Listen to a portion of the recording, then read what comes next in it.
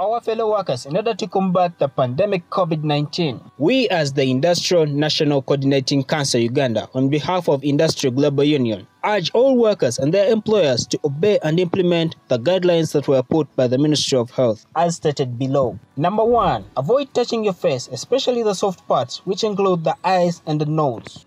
Number two, avoid shaking hands or any other form of physical contact with anyone or anything. Three, regularly wash your hands with soap or use a recommended hand washing sanitizer. 4. Always wear a face mask in case you happen to cough or sneeze to avoid the spreading unknowingly.